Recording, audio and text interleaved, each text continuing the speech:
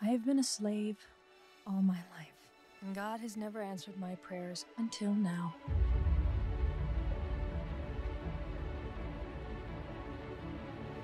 God saved you from the river. He saved you in all your wanderings.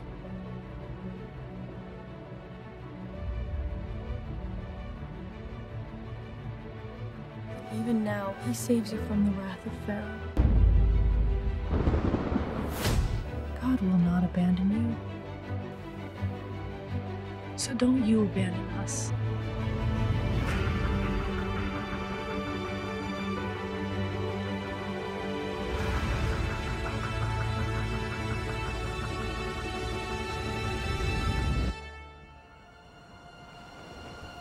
With this staff, you shall do my wonders.